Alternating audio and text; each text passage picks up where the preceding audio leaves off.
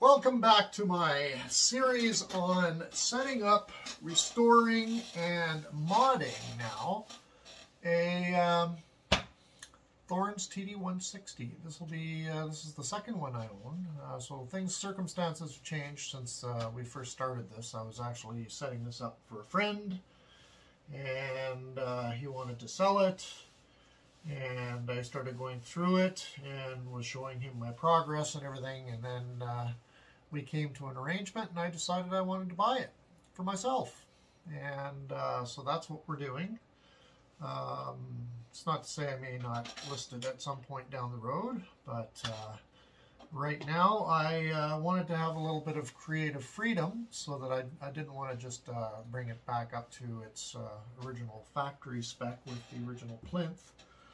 Uh, it's no secret that I'm not a big fan of these uh, the plinths on these things, so uh, um, what I'm going to do is swap the, the plinth out probably and put a, a more robust one. Um, I got a hold of a slab of uh, MDF that uh, I will be doing the base plate with. And yeah, so I've got some plans for it, and I may do a custom a custom acrylic um, dust cover for it. So stay tuned for that one. I've also got another video showing how to make acrylic uh, uh, dust covers with a uh, DIY bending machine that I created. But uh, I've got an idea for this one that'll be a little different than that. So maybe we'll go through that process a little later on in one of my other um, parts here. Um, so this part I wanted to focus on the top part of the platter. And uh, we did the motor. We did the head shell in the previous part.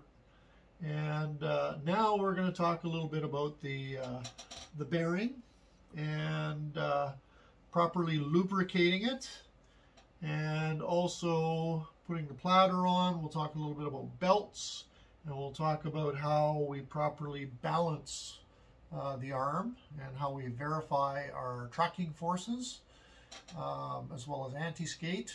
Um, there are some uh, idiosyncrasies with this particular one for uh, setting your anti-skate. So we'll go through that uh, just so you have a better understanding. Um, remembering these were made uh, long before standardization ever became a, uh, a thing. Um, so um, what we'll do is uh, go through all of that and and then we'll do the protractor. So uh, what I did was I printed out a uh, Thorens Baerwald arc protractor. The beauty is these are free. You can actually go on to uh, this website right here, which is vinylengine.com. And within the site, all you have to do really is Google Thorens Baerwald, and that's how you pronounce or spell Baerwald, arc protractor. Uh, there's a number of sites that uh, actually um, have grabbed a hold of this and uh, and um, are available, so you can um, print it out. Um, the the key there though is you have to print it out um, to scale. So most printers will give you the option of fitting to page uh, or printing the actual size. And this was probably made for uh, A4 or European sized paper, which is a little bigger because uh, you can see it's sort of at the edge, but you've got all the information you need on it if you print, print it on a standard 10, 8.5 by uh, 11 uh, North American sheet as well. It's just, it looks like it's cut off in the bottom, but you've got everything you need. Um, so how do we tell that um, when we look at the protractor? Well, the idea is print it out, and if you're not sure whether it's to scale, they've got these two lines here. Um, you got A to B here, or sorry, A to A there, and B to B on this line. And on here it says A to A is exactly 140 mil millimeters. So it's of course metric, so make sure you have a metric ruler. And uh, you basically measure it and make sure, yeah, that one corresponds to 140 millimeters. And then the B to B distance is 200 millimeters. So if it's not, if it doesn't measure to be 200 millimeters, then you don't have it printed off to scale, and then this is useless. Um, the beauty too of this uh, this protractor is there's a second page. It tells you what arms and what uh, what turntables it actually is uh, designed for. Um, it also tells you the um, the uh, mounting distance that's uh, used. So that's your distance between the pivot point to the center of your spindle, which is uh, supposed to be 215.6 millimeters, which is usually what the TD160 series turntables are, unless you've got uh, uh, an odd tone arm like a super where you've actually taken the uh, the Thorens turntable off, or tone arm off and change things up so that your uh, your mounting dis distance is different. Um, so then it's got this instruction set on what to do and uh, you basically follow that. It's, uh, it's kind of an idiot's guide. There's also lots and lots of YouTube videos out there on how um, to uh, set up a turntable, how to set up the arm, how to use a protractor. Uh, I would suggest maybe Michael Fremer is a, uh, a well-renowned uh, turntablist, I guess, or audiophile. And he's got some really really good uh, demonstrations that uh, that go through the whole uh, turntable setup process. Um, and more for generic turntables uh, so it's not specific. So my goal here is to you know make a, a, turntable specific to the TD160 zero or TD160 and this also applies to most of the other uh, turntables in that class like the TD165 uh, 145, um, and you know the auto uh, lift table variants, and uh, any ones that use kind of this arm and, and that sort of style. Um, so yeah, so we're going to uh, jump into uh, doing all of this. That'll be the very end, doing the uh, the protractor after we set the arm and all that sort of stuff. And uh, we want to lubricate the bearing and that's what I'm going to go through right now. So I'm going to bring the camera a little bit closer so you can see the action going on with the table itself and not have to stare at my face and then we'll go through that process. All right, we're now back up and uh, set up with the camera a little bit closer so you can see what's going on. And uh, as you know, we cleaned out the mo cleaned off the motor and everything. So before we start uh, re-oiling the uh, the bearing, the platter bearing, um, what we want to make sure is that all of the old oil is uh, is out of the uh, the bearing well. So I actually did it before, but I'll I'll just run by uh, what I do and what I don't do. So one of the things I don't do is I don't use these uh, cotton swabs in order to get into that bearing.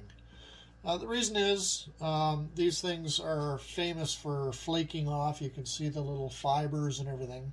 And of course, what happens is if you're in a sloppy inside there, you could actually uh, knock off some of the fibers and not get them cleaned out of the uh, the bearing well. You want to keep that bearing well as clean as possible. Um, this particular bearing was, you know, there was a little bit of oil in it, but it was mostly dry.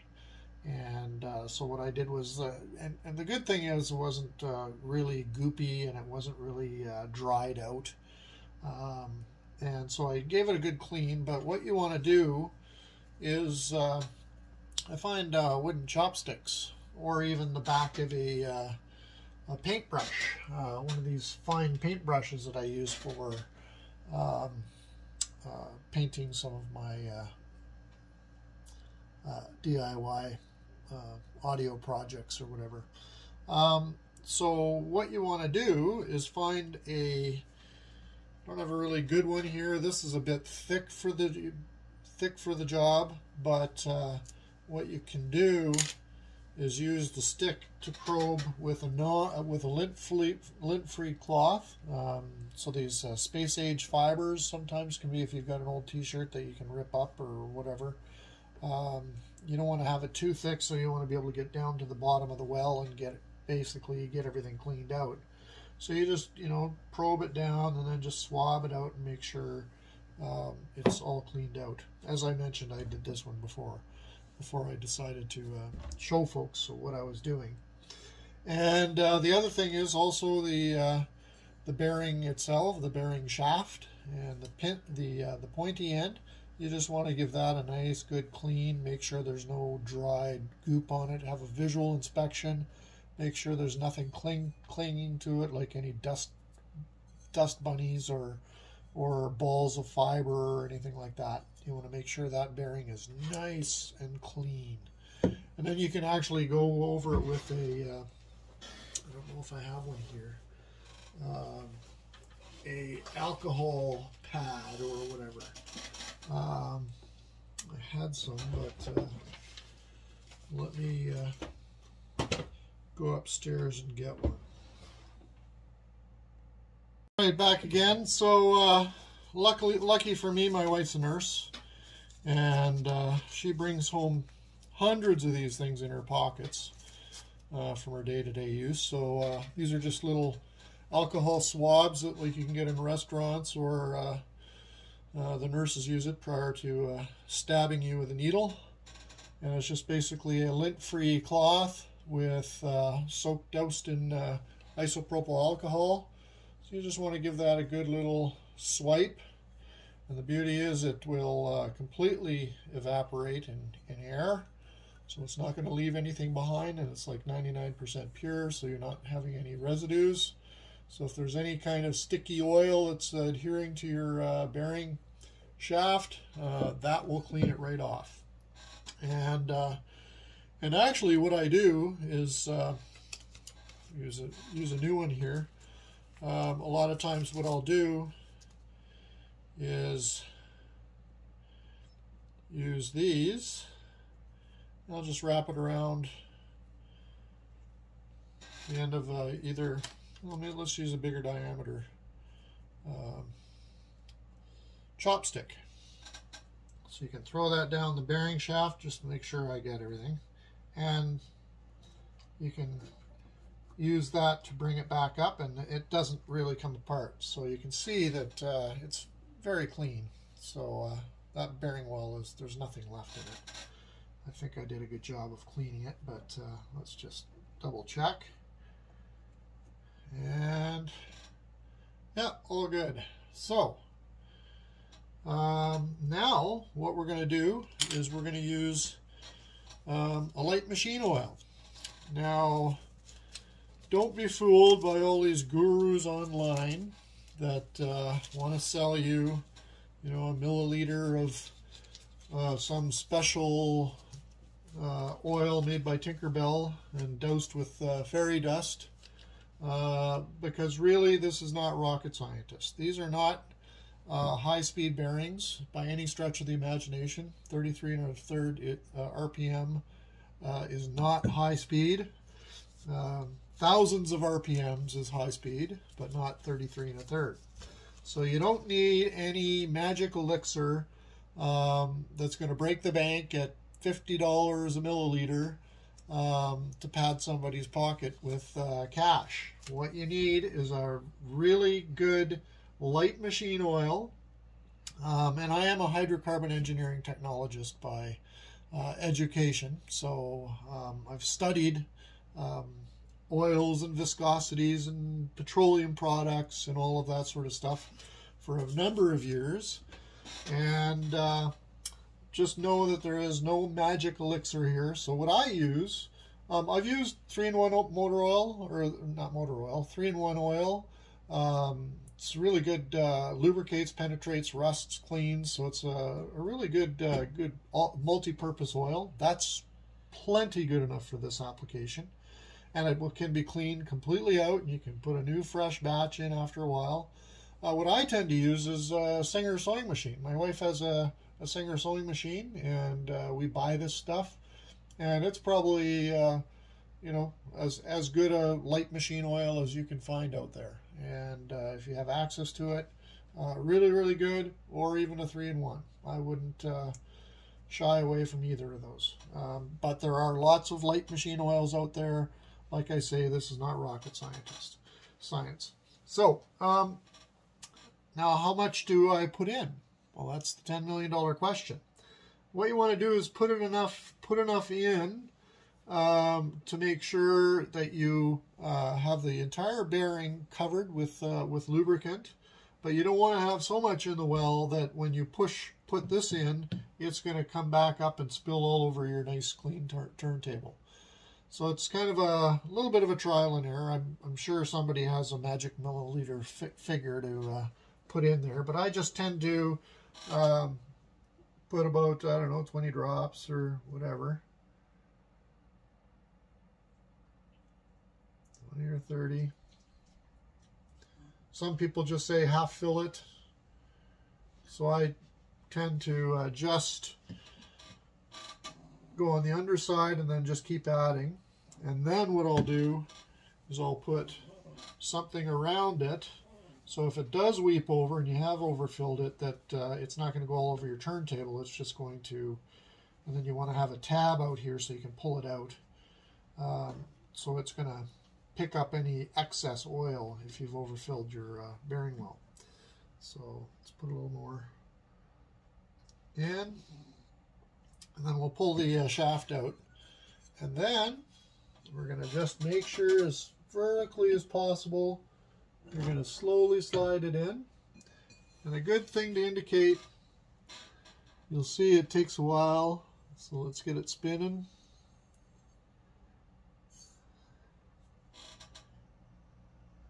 And you'll find that it actually now has a suction to it. There we go. So I think it needs a little more oil.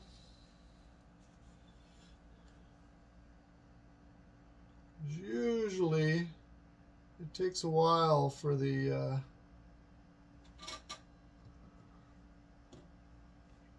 and actually we can use uh, instead of this I'll just poke a hole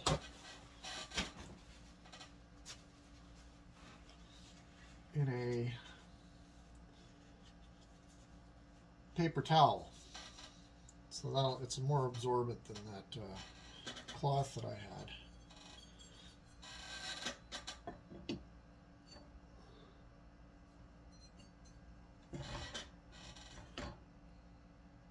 See how it's slowly sinking in now? So now we're getting to be where we want it to be.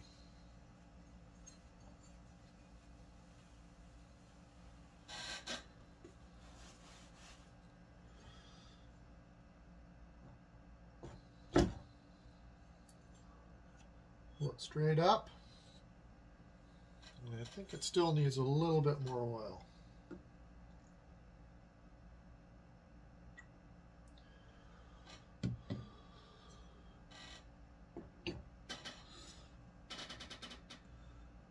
Uh, it's starting to come up now. Oh, there we go. It's not overflowing. I can see it. There we go. Now look at that. It's just going to spin and spin and spin and spin. I think we're good there. It was just almost, oh, you could see it welling up on the side. So all that, that lubricant, that bearing is fully lubricated. And then we can pull this apart and you can see just a little bit has soaked soaked over and uh, and gone onto the cloth instead of your turntable. Oh, and you can feel the suction there. There. There's nothing on the turntable, so I think we're perfect for the amount of lubricant that we need. You can see it slowly sinking, and that's just the suction. That's how, how tight of a fit that bearing is with the lubricant. And it'll finally seat itself, and actually if you spin it, it'll go down a little bit faster. But now we're uh, I think we're ideal. And look at that spin.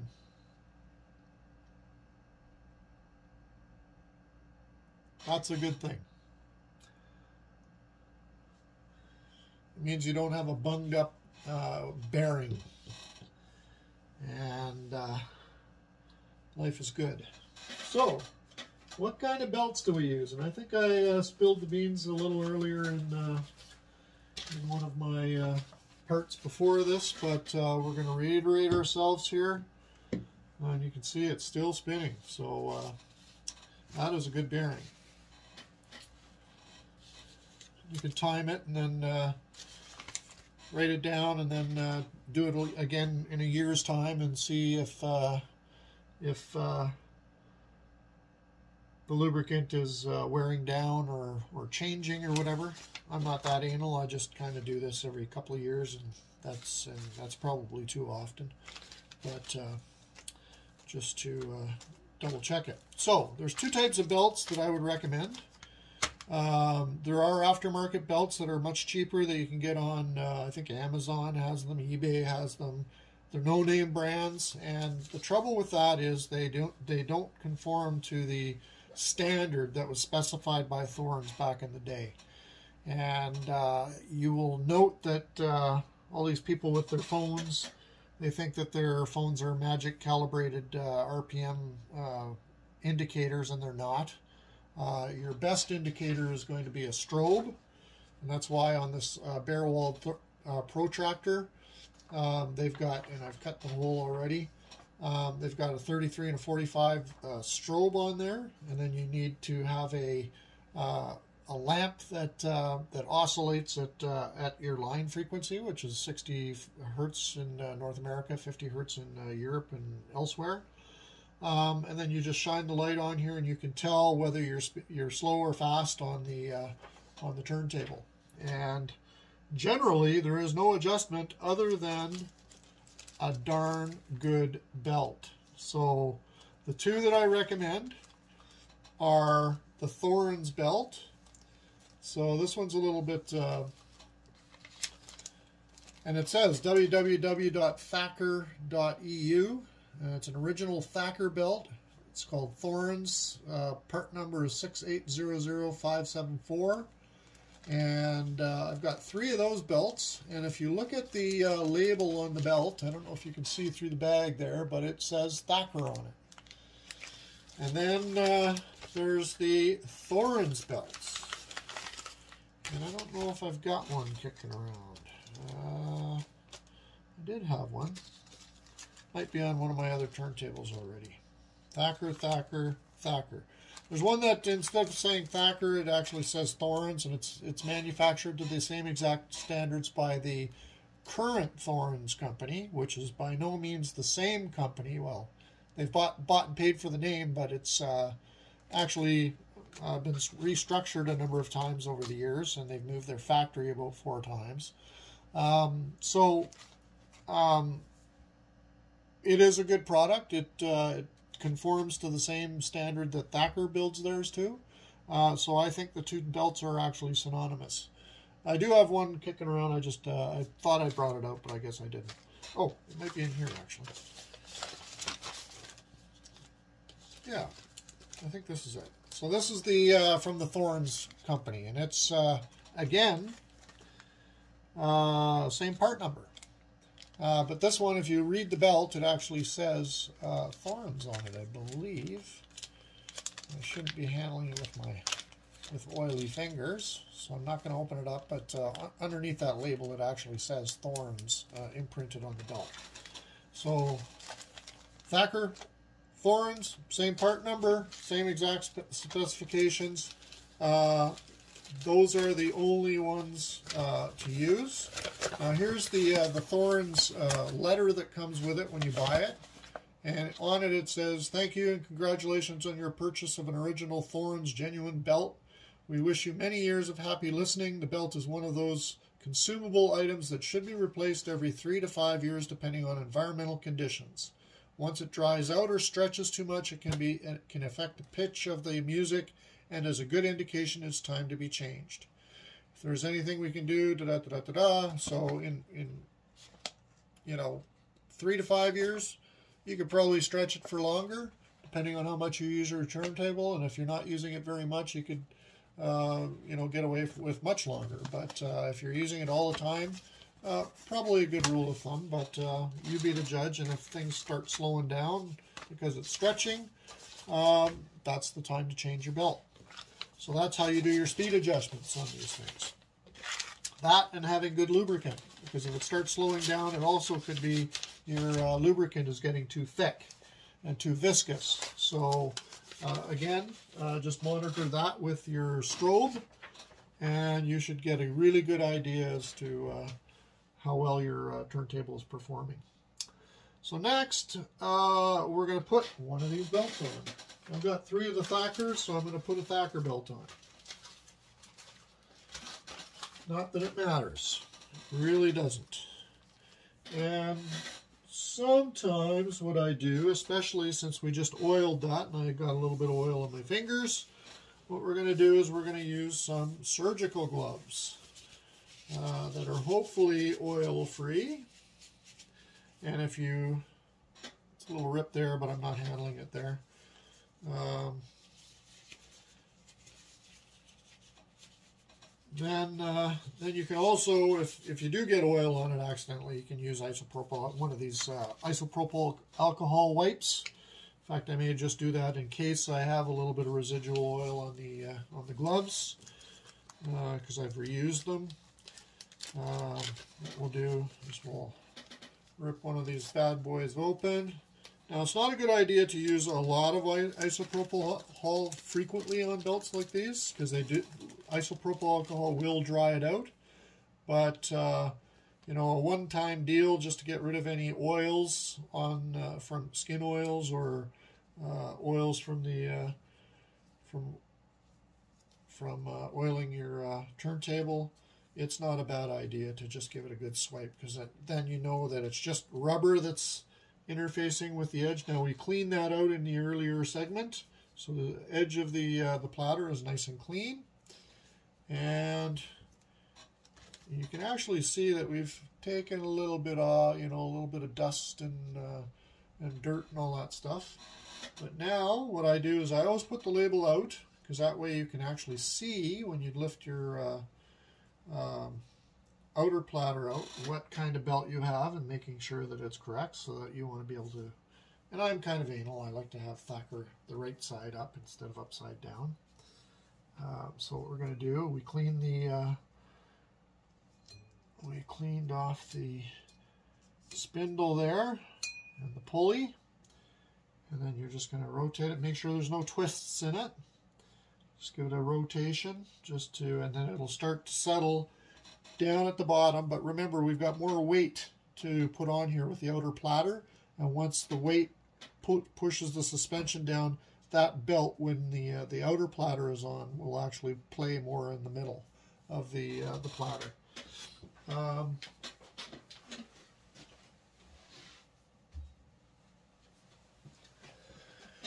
once again, I do have a 3D model for uh, replacing, for putting a uh, the standoff post here to prevent actually damaging your uh, your uh, spindle or or uh, drive shaft or uh, pulley system. I haven't done that yet, but we're just going to be extra careful. So on here, we have the the um, factory made uh, 45 adapter, which just fits inverted. Uh, I think I showed you earlier, I've made 3D models of those that are available online. If you've lost yours, you can print one out and use it. Doesn't matter whether it's metal or plastic. And then be very careful putting this, don't let it fall onto your, uh, your spindle. And just gently place it on here. And there. And uh, earlier in the uh, parts, I, I, showed that I was missing the rubber platter. I went back to the fellow I bought it from, and he actually found it. So now we have the original rubber platter. Now there's, this is another one of those uh, fairy dust kind of things. A lot of people, and, and you know, there is some science behind it. Um, some people prefer felt mats, which I have. And some people prefer uh, cork mats for various reasons. And I've got the felt mat here. It's under a pile of stuff here. So you could, uh, you know, use that instead, or you could use a cork mat instead. There's actually one, a cork mat you can get for Thorens that has the 45 adapter uh, thing. If you're going to use the cork mat, cork mat with the 45 adapter in there and not take it out, then you can just put it on top but then you have to adjust, if you're concerned with it, the uh, vertical tracking angle or your arm height. If, again, you're that anal about it. But uh, there we go. So now, uh, what we're going to do is we're going to have a look at, remember we uh, set up the, uh, the TP60 arm there, or the head shell, with um, the stylus using my uh, jig, which is the Thorens jig, which is this little guy here. So we got the uh, pivot distance to stylus tip measured correctly by using this uh, jig that fits over top of here. So it's ballpark, it should be pretty close to this, but that's providing it's not using another uh, uh, system like uh, Lofgren, or but this is Baerwald, so uh, that's the recommended one for uh, Thorens. So we put that on. I shaved the corners here just to uh, show it, and then what we can do. I've already just, uh, so what you want to do is zero your uh, anti-skate on this according to the procedure in here. So let's follow the procedure actually. So you got a little recipe or an instruction set here. It says, you know, here's all here's all the uh, arms it works with, the turntables it works with, and the distance uh, between here and here that it works with. And then uh, if it says, if this uh, pivot to spindle distance is not exactly 215.6 millimeters, don't use this protractor. It says right, uh, right there in big bold letters. Um, so if you have a different type of arm and that distance has been changed, uh, this is not good for you. Um, so one is print it, which I've done. Check the distances, A to A, B to B, which I've done, uh, which I explained to you. And then rescale if the distances are not correct. Uh, cut out the black hole. Using a pin is good. I use just a, a, uh, a razor knife. And uh, set your anti-skate to zero, which I just did. And now the stylus must follow the arc. Use the C and C prime um, dots. So there's C prime there and C. So what you want to do is orient this so that and then you can just use it by hand and then you want to put your rotate it until this is right on the C right like so. And you want to make sure and it's not following the arc. Back again friends. I uh, rather than uh, monkeying around with this for a whole long time on camera I figured I would sort of get it to the point where I was happy and then uh, just sort of explain it a little bit because a lot of these things require a little bit of uh, monkeying around and uh, that's pretty typical. Um, so uh, what I did was I had to uh, move the cartridge uh, quite far forward but not all the way or if not all the way it's very close. And so what I did was I adjusted the arc protractor, and the way the arc works is the arc should be centered on the um, um, the pivot point of the uh, the tone arm, and uh, essentially uh, what you want to do is make sure, in order to get the you know the correct pivot point to stylus tip distance, it should inscribe itself on this arc here, which is the Baerwald uh, geometry uh, versus Stevenson or um, any of the other types of geometries that are out there, and there's a number of them.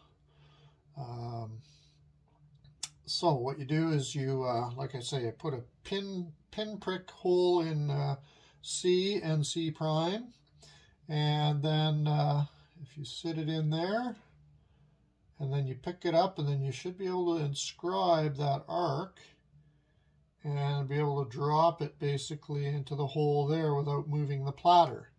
And that means that you are now, and it doesn't go any further than that, that means your overhang distance from uh, from here to the, uh, the, the, stylus tip and also from the pivot point to the, uh, the stylus tip is bang on. So there we go. This is uh, meeting the Baerwald uh, geometry.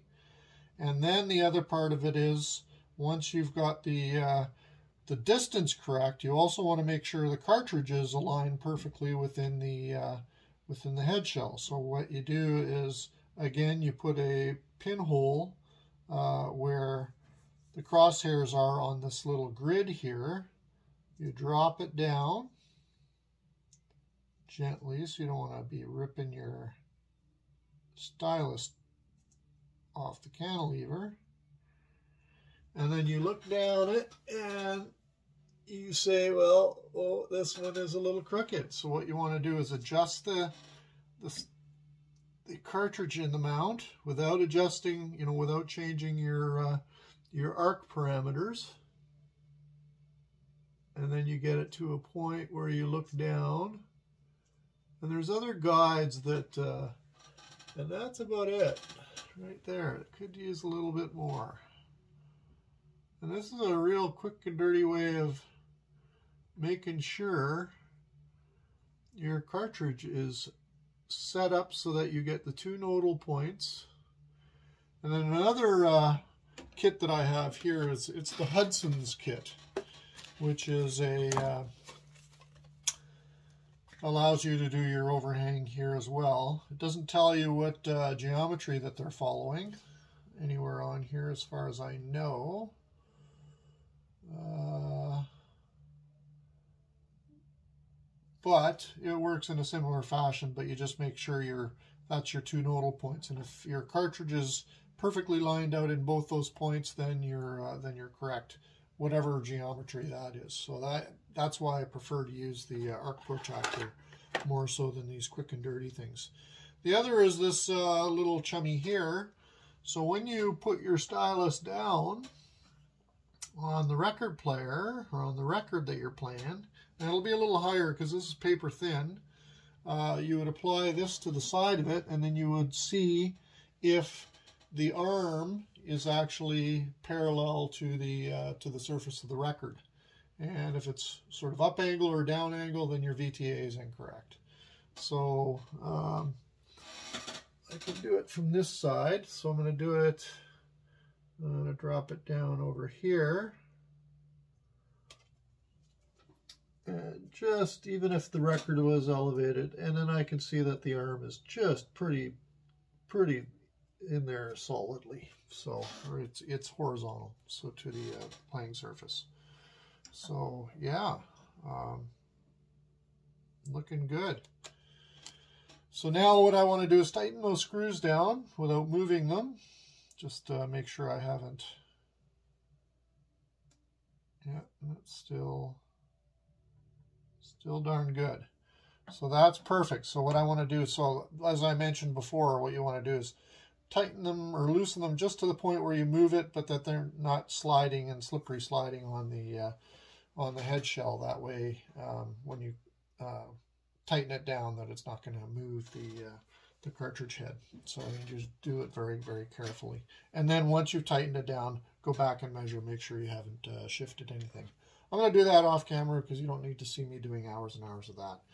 Uh, but um, that is the finicky part of doing the uh, doing the turntable. So now we've got the uh, the geometry of the arm uh, set up correctly, geometry of the head shell and the cartridge inside the head shell. Um, we're applying the uh, Thorens Baerwald, Baerwald protractor, arc protractor uh, geometry correctly. And uh, so everything should be correctly set up. And it is significantly different than the uh, geometry uh, portrayed by the, uh, the jig that uh, comes with the turntable. Um, so I'm not sure if it which which geometry it follows. It doesn't really say. I don't believe in the manual. I may have missed that. So uh, we're going to go with this, see how it sounds at, at the end of the day. Um, so we've got the uh, we've got the um, oil uh, applied correctly to the uh, bearing well. We've got the motor done. We've got the a new uh, um, belt put on here. So I think we're now ready to close this uh, close this up. Oh, the other thing is uh, tracking force and adjusting the uh, adjusting the arm. So that's the another sort of fiddly part to do. Um, what I'd like to do, so we've got, and also we've got the anti-skate here on zero, and that's what I explained what I would uh, I would uh, differentiate, and we'll do that in a in a second here. Well, I'm a little bit bummed out. Um, so I uh, started doing the uh, the geometry of the arm and checking everything out, and I put a, uh, spirit bubble on top of my head shell here, and notice the bubble was way up on this end here, as you can see. If we can get that to focus. And normally what I do is just do a, a, horizontal just to make sure, which of course it, it is horizontal and it's correct. I can adjust it as you see there.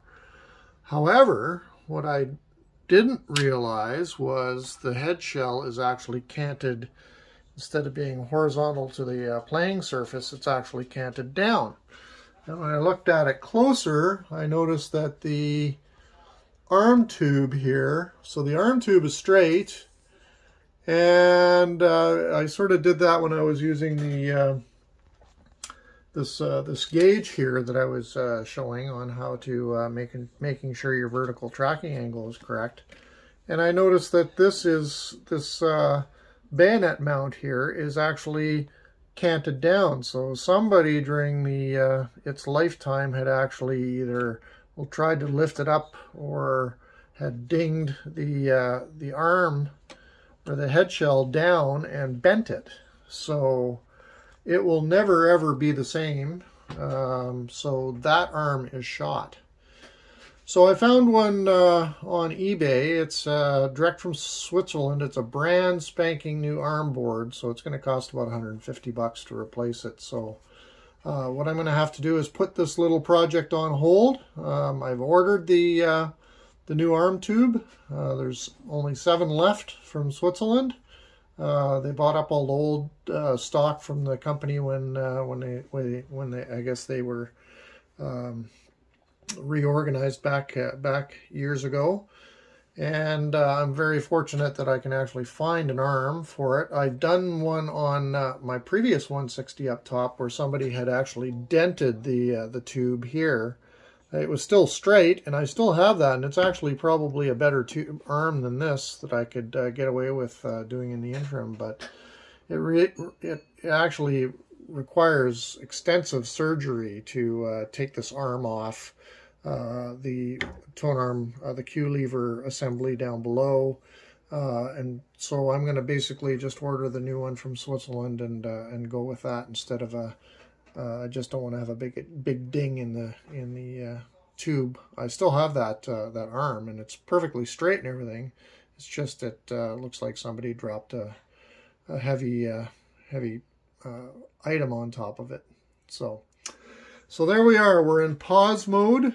Um, we'll see if I can do any other stuff. Uh, what I was going to do is set it up in the natural um, plinth instead of go with the new plinth uh, I wanted to get it all set up that way, and then I would swap out the plinth at the very end. So, uh, so I think we're in a, in a, into a stall pattern here until I get that uh, that arm from Switzerland. In the meantime, I've got other projects to work on, so we'll uh, come back to this uh, forum and thread uh, once I get that arm, and then I'll. In the meantime, I'll post the the other turntable ride swapped out a brand new arm from the same place and uh, arm tube and uh, and we'll pick it up from there so uh, yeah little bummed out this is going to be a slow long long laborious process but uh, in the end it'll be worth it.